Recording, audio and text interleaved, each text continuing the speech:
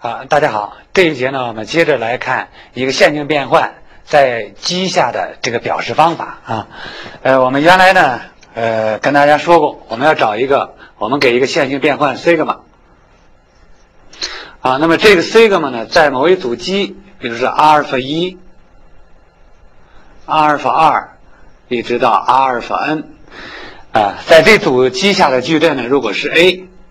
我们的目的呢是要选择一些适当的这些阿尔法，使得呢 A 具有最简单的形式。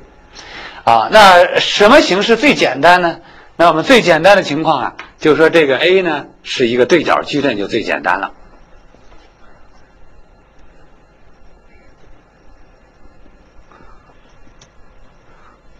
啊，如果 A 呢是这种形式呢，就最简单。呃，那 A 我们来看什么时候 A 就得是个对角形式呢？啊，那我们看这个的意思，那就是说呀，这个 sigma 阿尔法一就等于啊，就 sigma 阿尔法一呢，可以用阿尔法一到阿尔法来线性表示的。那么它的这个我这个横着的呢是这一列的这些系数，那也就是说呢是拉姆达一阿尔法一，然后其他的呢就都是零了，我不写了。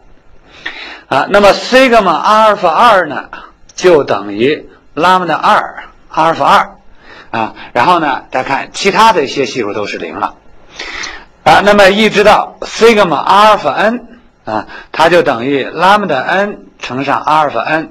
就是这一列的啊，只剩这一个，其他都是零啊。那我们现在再来看，因为阿尔法一到阿尔法 n 呢，它是一组积，是一组积的话呢，我们就要求啊。这些阿尔法全都不是零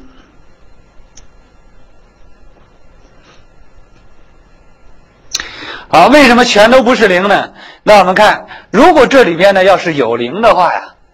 那么这个向量组就成了线性相关的了啊。我们曾经证明过，呃，一个向量组里边呢如果有零向量，它就一定是线性相关的啊。那么因为它是一组积啊，积呢它得线性无关。所以呢，就矛盾了。于是我们说呢，每个向量都得不等于零，每个向量都不等于零呢。大家看这个东西不等于零啊。然后呢，我们根据呃本征值和本征向量的定义，那么就是啊，这些个 lambda i 都是本征值，而这些个阿尔法 i 呢，它全都是本征向量，而且是呢对应于阿尔法。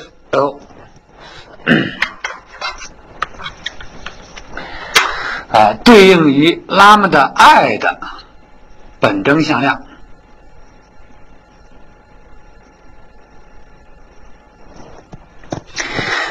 啊，那么于是呢，我们看，如果这个 A 是个对角矩阵，那么这些阿尔法全都是本征向量。那么反过来啊，如果有一组积阿尔法一到阿尔法 n。如果它们全都是本征向量，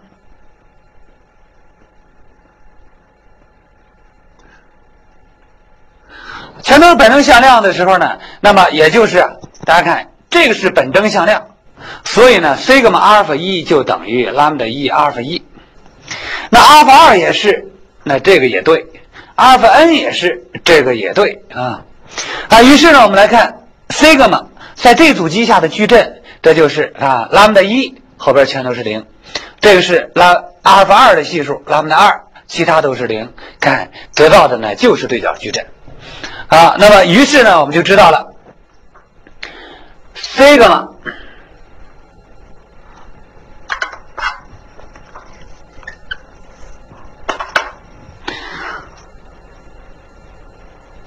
啊，在某一组积，比如是阿尔法一、阿尔法二。到阿尔法 n，在这组积下的矩阵，呃，如果为对角阵，啊，根据刚才我们的分析，我们就知道啊，这个 v 就有由西格玛的本征向量。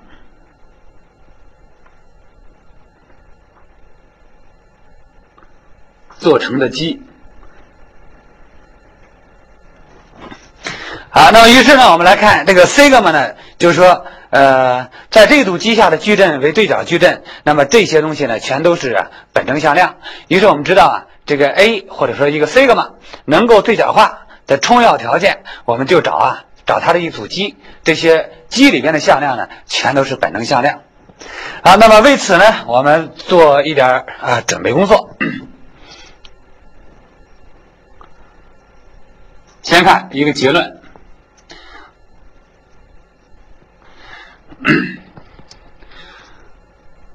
若可 c 一可 c 二一直到可 c t 是 sigma 的对应于不同本征向量啊，这些向量呢，比如我叫它。呃，对应于不同本征值啊，这些本征值呢，我们把它记作 lambda 一、lambda 二，一直到 lambda t 啊，就这些东西是对应于它们的本征向量。好，大家注意呢，这个条件，这个条件呢，一定是要要求啊。这本征值是不同的啊，这些本征值 lambda 一到 lambda t 一定是不同的啊。那么，如果它们这些东西分别是对应于不同本征值的本征向量，那么 lambda 一、lambda 二，哦，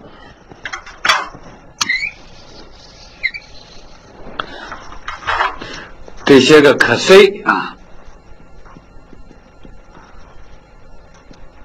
就是线性无关的，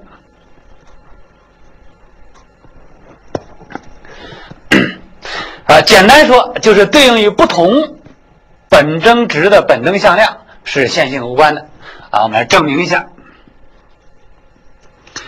啊，我们还是要证明什么呢？就是要证明啊，这个它们的线性组合如果是零，那么系数呢都是零，那么我们现在呢对这个 t。来归纳，啊，那么首先我们来看电机，t 等于一的时候啊，这个式子是显然成立，啊，为什么呢？因为 t 等于一的时候，这就一个可 c 一，那么这个可 c 一呢，因为它是本征向量，所以它不等于零，啊，那我们说过呢，单独一个非零向量一定是线性无关的，啊，所以 t 等于一的时候显然是对的。好，那么现在呢，我们看啊，如果 lambda 一到 lambda t 减一是不同的啊，就是 lambda 一到 lambda t 减一不同啊，这就是归纳假设，就是可 c 一、可 c 二一直到可 c t 减一，如果这前面这些东西是线性无关的，哎，我们来证明呢，对 t 的时候呢，结论也成立。啊，那么对 t 的时候呢，那我们这个来看，我假设 a 一可 c 一加上 a 二可 c 二，一直加到 a t 可 c t，如果这些东西啊，它们线性组合等于零，呃，现在呢，我们的目标就是要证明啊，a 一、a 二、a t 这些东西全都为零，哎，怎么证明呢？啊，我先来看，我把两边呢给作用一个 sigma。啊，作用一个 sigma，那就是 sigma a 一可 c 一加上 a 二可 c 二，一直加到 a t 可 c t，就等于零。啊，再然后呢，因为这 sigma 呢是个线性变换，所以利用线性性，那么这个就是 a 一 sigma 可 c 一加上 a 二 sigma 可 c 二，一直加到 a t。Sigma 可 c t 等于零。好，另外，我们注意啊，这些可 c 啊是相对于啊对应于 lambda 的这个本征向量，所以呢，sigma 可 c 一就等于 lambda 一可 c 一，sigma 可 c 二就等于 lambda 二可 c 二。呃，sigma 可 c t 就等于 lambda t 可 ct 啊，利用本征向量的性质。这是呢，由这个式子我作用了 sigma 以后呢，就得到这个。那么我们现在呢，再给它进行另一种计算，就是我把这个式子两边呢给乘上一个 lambda t，是个数啊。乘上 lambda t 以后呢，我们来看这个东西就是 a 一 lambda t 可 c 一加上第二项是 a 二。lambda t 可 c 二，一直加到 a t lambda t 可 c t，啊，就乘上乘上一个 lambda t 以后呢，这个式子就变成它了。那么这两个式子呢，我把它做减法，做减法，这个相减，我们得到的是 a 一 lambda 一减去 lambda t 可 c 一加上它减它是。a 二乘上 lambda 二减去 lambda t 可 c 二，好，我们看加到哪儿呢？最后一项啊，这都是 lambda t 啊，都是 a t lambda t 可 c t，所以减完是零了啊。那么剩它的，它的前面一项呢，就是 a t 减一，这是 lambda t 减一减去 lambda t 乘上可 c t 减一。等于零啊，在它前面一项就这个东西等于零。那这些东西等于零以后呢，那我们根据归纳假设，说可 c 一啊到可 c t 减一是线性无关的。说这些东西是线性无关的，那么它们的线性组合又为零，所以呢每个系数都为零。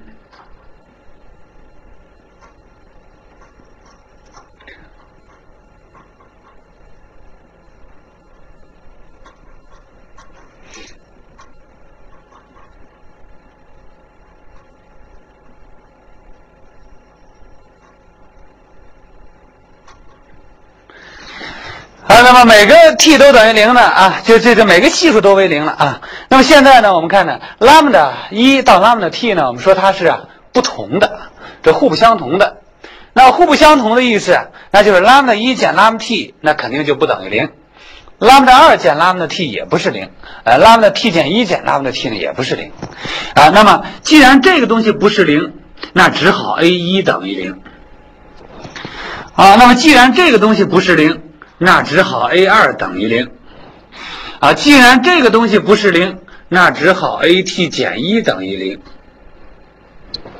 啊，于是呢，我们来看，我们就推出来了 a 一 a 二到 a t 减一都是零啊，a 一 a 二到 a t 减一，就前面这些东西都是零，前面这些东西都是零呢，我们看这个式子就剩这一项了，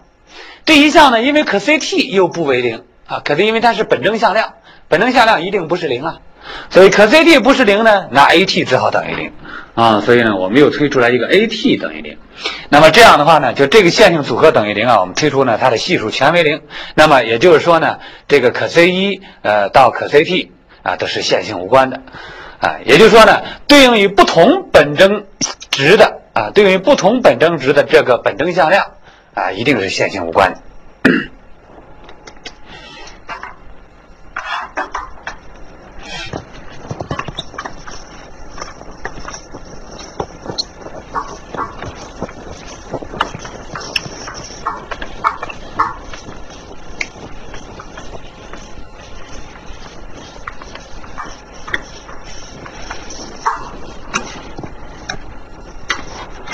好，我们刚才一个定理呢，说的是把一个呃，把一些呢对应不同本征值的本征向量放在一块儿以后呢，是线性无关啊。那么现在呢，我们来再来看，如果我这里边呢啊有好多个不同的不同的本征值啊，这些个 lambda i 都是 sigma 的本征值。然后呢，它们就对应着好多的这个可能啊，会有若干个这个特征向量啊，本征呃本征向量啊，比如说呢，我这个叫做可 c 一一，可 c 一二，可 c 一啊 r 一，这个是叫做可 c 二一，可 c 二二，可 c 二 r 二。啊，这个呢是可 c t 一，可 c t 二，可 c t r t 啊。那么对于不同的这个本征值来说呢，比如说有这么，它们有好多个这个本征向量，而且呢这些东西啊，本征向量啊，这它们还是线性无关的。啊，就是就就这单独这一组本身是线性无关的，啊，单独这一组本身也是线性无关的，啊，随便任取一个 lambda t，它对应的这些东西呢，都取成是线性无关的，啊，那么我们刚才的定理啊，说的是如果我要单个放，啊，就是说呢，我这里边随便取一个的话，那么对应于不同特征值特征向量放在一块呢，线性无关，啊，那么现在呢，如果我有好多个。啊，它对应于每个拉姆达都是线性无关的。那我们把它放在一块儿会怎么样呢？哎，我们要证明的结论就是，可 c 一一到可 c 一 r 一，可 c 二一到可 c 二 r 二，就是我把这些东西都放在一块儿啊，可 c t 一到可 c t r t。啊，把它都放在一块儿以后呢，仍然是线性无关的。啊，刚才呢只是说了一个，啊，现在呢说多了也没关系啊，呃，这这就是对应一个的，如果多了放在一块儿呢，也仍然线性无关。好，我们来看一下呢这个定理的证明。这个定理证明呢，那么照呃我们这个证明线性无关的一般方法，我就是要证明啊，a 一一可 c 一一。加上 a 一 r 一可 c 一 r 一，就是把它们做线性组合了啊。a 二一可 c 二一，一直加到 a 二 r 二可 c 二 r 二，然后呢加到 a t 一可 c t 一，加到 a t r t 可 c t r t。等于等于零啊，这些东西等于零，那么我们啊来证明所有的这个这些系数全为零就行了，它就线性无关了。啊，那么我们现在啊，我们把前面这一堆的啊，就是第一堆第一堆的线性组合，我把它呢记作 a 一。那么第二堆的线性组合，我把它记作 a 二。最后一堆的。线性组合啊，我把它呢记作是 a 的 t，啊，我这么记一下。啊 这么记一下以后呢，那我们来看看啊，我们能得到什么样的结论？哎，首先一个。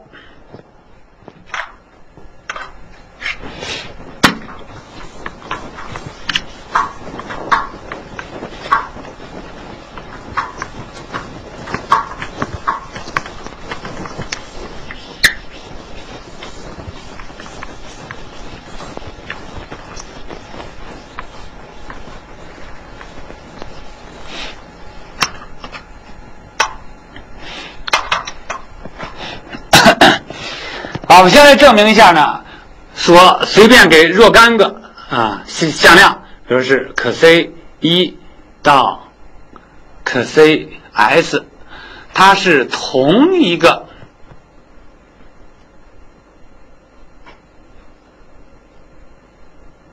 啊，对应于同一个本征值 lambda 的本征向量。啊，如果可 c 一到可 c s 是对应于同一个本征值的本征向量，啊，那么我们现在呢给它做一个线性组合，啊，另一个 a 塔等于 a 一可 c 一，一直加到 a s 可 c s，我们来做一个线性组合。那么现在我们要证明啊，若 a 塔是不等于零的，则 a 塔也是 sigma 的对应于，也是同一个本征值 lambda 的本征向量。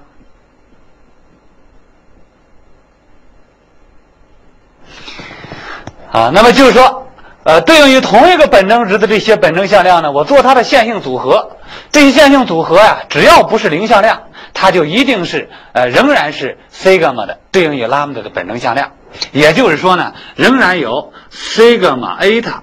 等于 lambda eta 啊，哎，仍然有这个式子。啊，我们来看呢，它的证明。那么 sigma eta 呀，就是 sigma sigma a 一可 c 一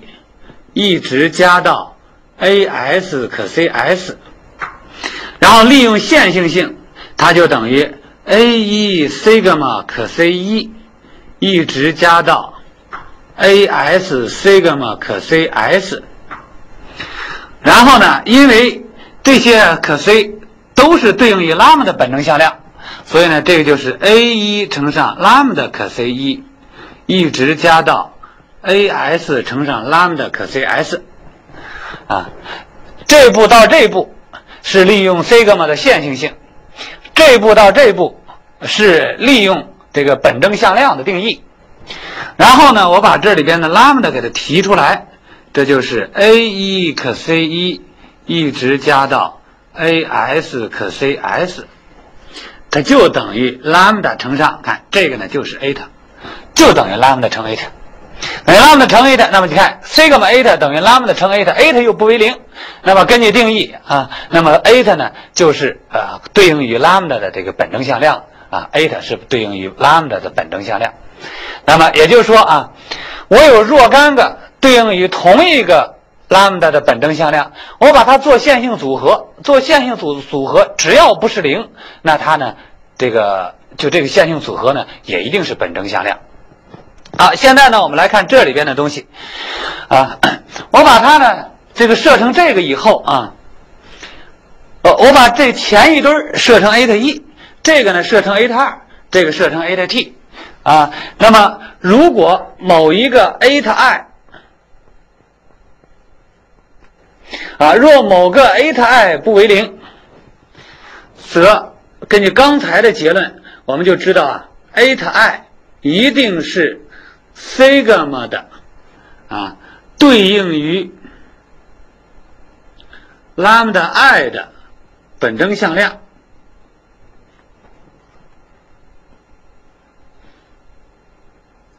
好，大家看为什么啊？因为比如我们来看这 at 一，那么 at 一这里边呢，就这些个向量啊，在这里头呢，它都是 lambda 一的这个本征向量。都是它的本征向量呢？那我做了线性组合，如果它不是零，根据刚才我们证明的结论，那这个 ati 呢，不就是呃对应于 lambda i 的本征向量了？啊，那我们再来看这个式呢，我把它再重新写一下，这个就是 at 一加上 at 二，一直加到 a 特 t 是等于零的。那么这回啊，说某个 lambda i 啊，有某些拉呃，对不起。某些 eta i 如果要不为零，但是就说明啊，这里边呢有某些啊特征，这个呃有某些本征向量啊，有若干个本征向量。那么这若干个本征向量，它的和呢还是这个零啊，它的和还是零。那么就说明呢，它们现在已经线性相关了。那么矛盾呢就应该出来了啊。那么比如说，我们来举几个特殊的啊，比如说呢，我这里头有 eta 一。不是零，如果其他都是零，其他都是零的话呢？那你看这个 at 一这边是 at 一，这边都是零了，这不 a eta 一就等于零了，这就矛盾了，是吧？所以呢，如果呀要有某个 a t i 不为零，那一定不止一个啊。那么不止一个的话呢，我们来看它有若干个，比如说是有 a t i 一加上 a t i 二。一直加到 eta i，好，我们看有什么字母没用过啊？eta i s，比如这里边呢有 s 个呀，呃是不为零的，那么其他都是零的呢，我就不要了。啊，有这么多不为零的，那这些东西啊，它一定是本征向量，而且对应的那个本征值还不同。对应本质本征值不同的话呢，那它就应该是线性。无关的才对呢啊！我们刚才定理一说的就是，它们应该线性无关。可是大家看这里边呢，因为这没有东西，就相当于这有一了，这有一，对不对？啊，那么这有一的话呢，那你看这不就成了线性相关了吗？啊，这个矛盾呢就出来了啊啊！所以呢，我们就说啊，这里边的这既然有这样的矛盾，那么我们就说呢，所有的 a 塔 i 都得是零啊，这个有个矛盾出来了。那么所有的 a 的 i 都是零，那我们来看一个一个来看，a 的一等于零，a 的一等于零啊，就说这个线性组合为零啊，这个线性组合为零呢，我们看可 c 一一到可 c 一二一，就是这个玩意儿都是线性无关的啊，它们是线性无关的线性组合又为零，所以系数为零啊，这一堆的系数为零了。那么 a 塔二等于零，就表明了啊，就这一堆线性，这个这个也是线性无关的，哎，那么这一堆的线性组合为零，这第二堆的系数也为零了，哎，同样的道理啊，每堆的系数都是零，那么这个所有的系数都为零啊，所有系数都为零了以后呢，那就说明这些向量呢，现在呢就变成了线性无关的啊，哎，那么于是呢，结合这两个结论呢，我们知道了啊，就是对应于不同本征值的本征向量。它一定是线性无关。那么，呃，如果不是不同的，那我们呢，在取自同一个拉姆达的时候啊，啊，取自同一个拉姆达的这些呃本征向量，如果它们本身就线性无关啊，那么我们把它呢堆在一块儿，堆积在一块儿以后呢，仍然是线性无关的。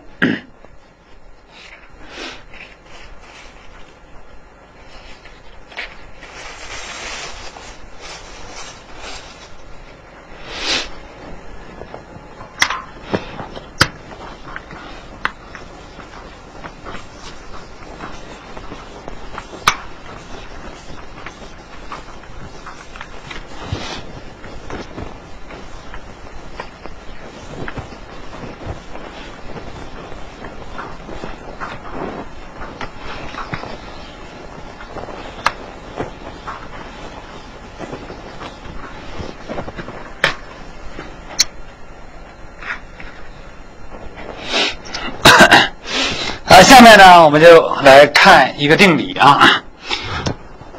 如果一个线性变换 sigma，呃，那么这个 sigma 呢，在某组基下，它对应的矩阵是 A。然后呢，我就找它的特征多项式 f 西格玛 x，啊，或者呢，把它叫做 f a x 都没有关系啊。好，我们来看呢，这个 f 西格玛 x 啊，它就等于。Xi 减去 a 的行列式啊，xi 减 a 的行列式啊，那么 xi 减 a 的行列式呢，那我们就可以啊，把它呢，因因为这是一个 n 次的多项式，是个 n 次多项式，比如说我这个 a 是 n 乘 n 的啊，或者说我们这个 v 是 n 维的，这个都是呃等价的。啊，那么 x 二减 a 的话呢，它是一个 n 次多项式，我就把这个 n 次多项式呢，去在复数域内啊，给它去分解因式。啊，若它在啊这个东西呢，在复数范围内，它是如果有 n 个单根，哦，这个东西应该是在。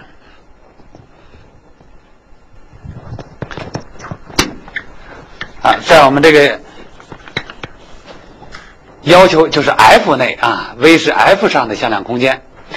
呃，如果呢这个 F 西格玛在 F 内呢是有 n 个单根，则西格玛就可以对角化。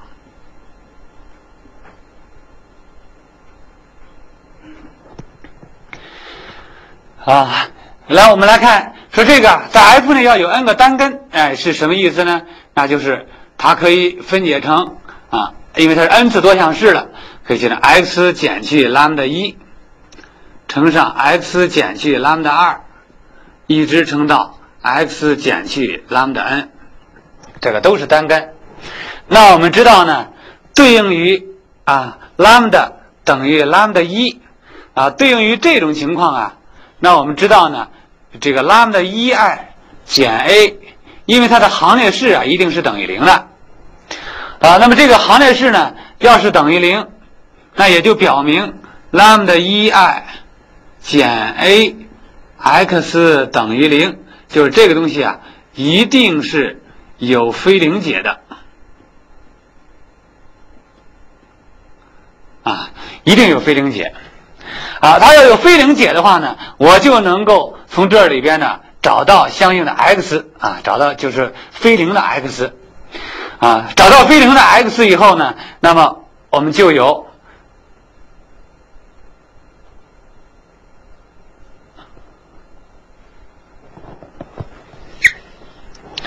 啊，sigma 我们能够找到 sigma 的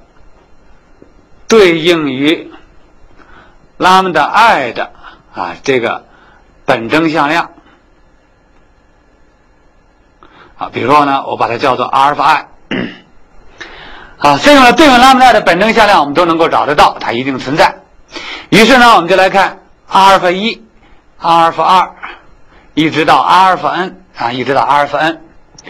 啊，当阿尔法 n 呢？那么这个东西啊，它是对应于拉姆达一的啊，它是对应拉姆达一的本征向量，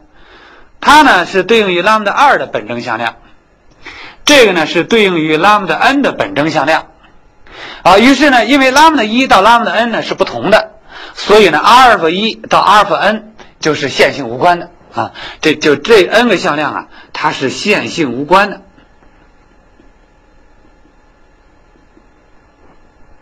啊，大家注意呢，这一条啊，lambda 一到 lambda n 呢是互不相同的，因为我们说呢它是单根啊，都是没有重根啊。那么于是呢，阿尔法一到阿尔法 n 线性无关啊，它要线性无关了以后啊，那就表明这个西格玛呃，就是说啊，阿尔法一、阿尔法二一直到阿尔法 n 啊，因为向量空间呢本身是 n 维的，我已经找到 n 个线性无关的了，所以呢，这个东西啊。它就是 V 的一组积啊，它是 V 的积。这阿尔法一到阿尔法是 V 的积，那么它又是本征向量，它又是 V 的积，哎，所以呢，那么 sigma 在这组积下的矩阵呢，就是对角矩阵，也就是说，sigma 呢，sigma 呢可以对角化啊。好，现在呢，我们把它呢这个翻译成啊。这个矩阵的语言啊，我们就把它用矩阵语言呢来叙述一下。用矩阵的语言呢，就是说我这有一个 n 乘 n 的矩阵 A 啊，n 乘 n 的矩阵 A。那么现在呢，这个矩阵 A，我就把它当做是西格玛当做是西格玛在某组基，比如说是贝塔一到贝塔 n 下的啊，在这组基下的矩阵。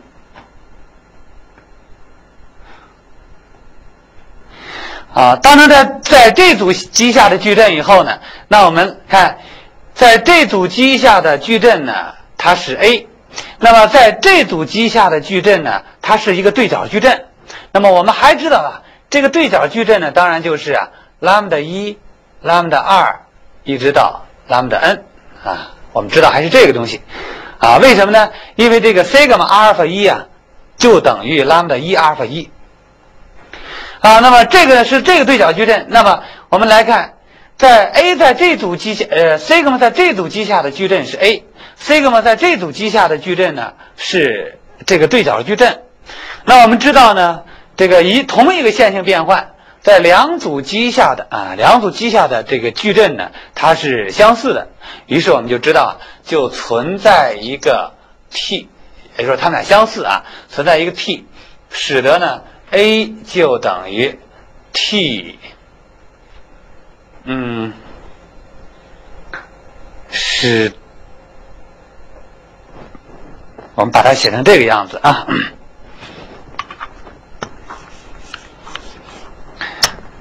使得 T 逆 AT 就等于 lambda 一。到拉姆达 n，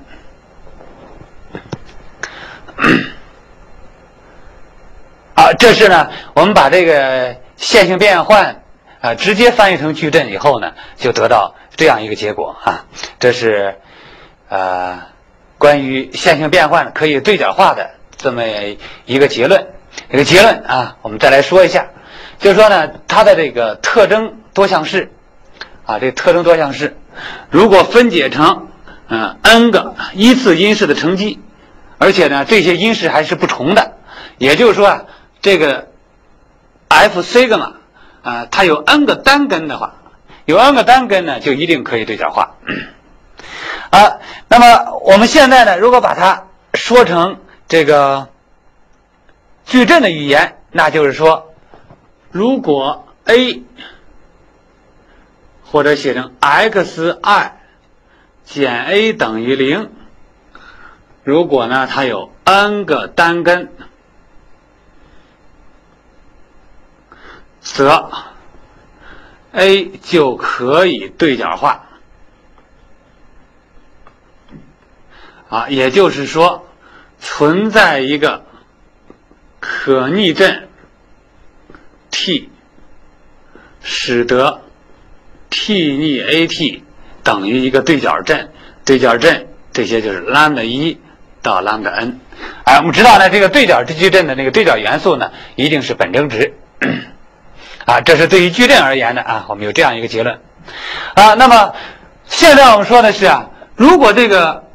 lambda i 减 a 如果有 n 个单根，它就一定可以对角化。那么现在呢，我们来看反过来的结论是不是成立？啊，反之，若一个矩阵 A 要是它有 n 个单根，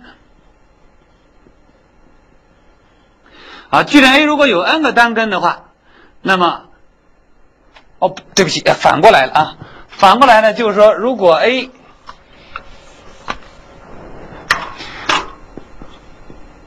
可以对角化。好，我们来看看这个 A 是否必有 n 个单根。啊，如果这个方向对，这个反过来也对啊，那当然这个结论呢是最好的了。不过呢，非常遗憾，往这边这个方向呢明显是不对的。啊，就是说呢，A 可以对角化的话。A 不一定非得有 n 个单根，啊，原因是什么呢？原因就是这个，比如说我取一个 A 等于 i，大家看呢，A 等于 i，它显然可以对角化，啊，因为这个 A 呢本身就是个对角矩阵，那我在这边呢，我在 A 的这边放上一个 i 的逆，啊，这边放上一个 i，那么因为 A 就等于 i，这 i 半天还是 i，啊，所以这样的话呢，这个 A 肯定是可以对角化的。哎，可是呢，这个 n a 呀，可不没有 n 个单根，嗯，这个 a 呢，大家看，那么 lambda i 减 a 减 a 的话呢，那个 a 还是 i，所以就等于 lambda i 减 i，啊，大家写出来以后就发现呢，这个行列式的值呢是 lambda 减一的 n 次方，也就是说呢，这个 lambda 等于一呢是它的一个 n 重根啊，是它的 n 重根，所以呢，这个条件。啊，就说有 n 个单根则可以对角化的这个条件呢，这个太强了啊，太太太强了，呃，它只是一个这个充分的，但是不必要的，啊，于是呢，我们就想办法呢，要找它的又充分又必要的啊，要找这样的条件，啊，要找到重要条件呢，我们现在呢，先来做一点准备工作啊，具体寻找过程呢，我们下一节课再来给出。好，我们来看呢，我们现在这个呃，做一点准备工作，做一点什么工作呢？就是这样啊。我现在呢，给一个 v lambda，我来做一个这个向量空间，它呢，我把它写成是这个东西啊，就是所有使得西格玛可 c 等于拉姆达可 c 的那样的可 c 哦。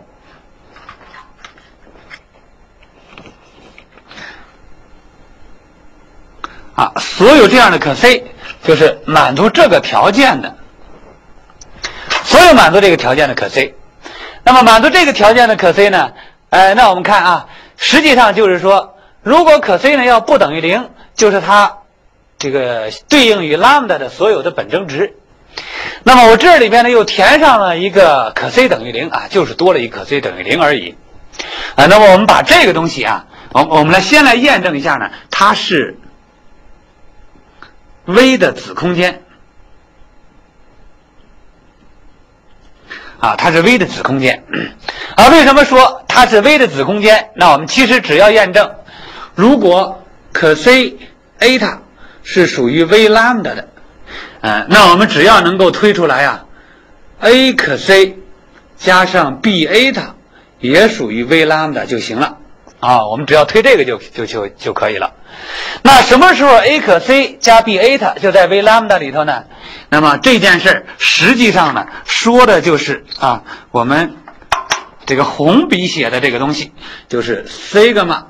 a 可 c 加上 b a 塔就等于拉姆达乘上 a 可 c 加上 b a 塔啊，你看这样的话呢，a 可 c 加 b a 塔就满足这个条件，满足这个条件，它就得在这个 v 拉姆达里头。好，那么这是怎么回事呢？那么这个呢，我把啊大致写一写，我把这边展开，就是 a 乘上西格玛可 c 加上 b 乘上西格玛 a 塔。啊，因为这是西格玛是线性的，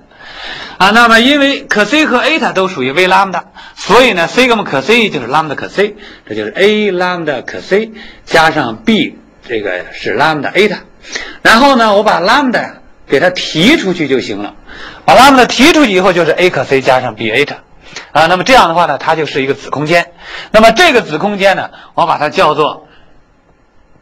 v 的啊。对应于拉姆达的特征子空间。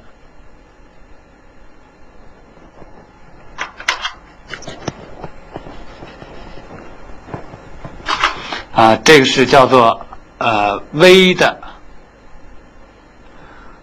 对应于拉姆的特征。啊，对应于它的特征子空间。啊，那么对于这个特征子空间来说啊，那么如果拉姆达是这个本征值啊，如果拉姆达是本征值，那么这个 v 拉姆达就不是零啊，这 v 拉姆达就不是零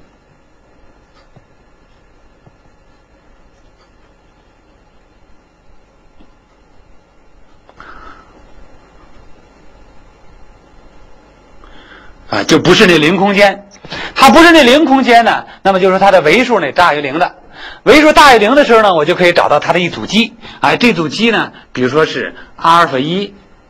到阿尔法 r，啊，阿尔法一到阿尔法 r。那我们知道呢，在微拉姆达的这组积啊，那么我们知道它这个西格玛阿尔法一呀，就等于拉姆达阿尔法一，啊西格玛阿尔法二呢，就等于拉姆达阿尔法二。啊，那么 sigma 阿尔法 r 呢，就等于 lambda 乘上阿尔法 r，就说这些系数啊，就全都是 lambda，啊，全都是 lambda，那又怎么样呢？啊，那么我们下一节课接着再来讨论啊，就是说呢，对这个微拉姆达我们能够把所有的东西都得到 lambda 以后，那会给我们一些什么好的结果啊？我们又能得到什么好的结论啊？我们下节课呢，接再接着来讨论。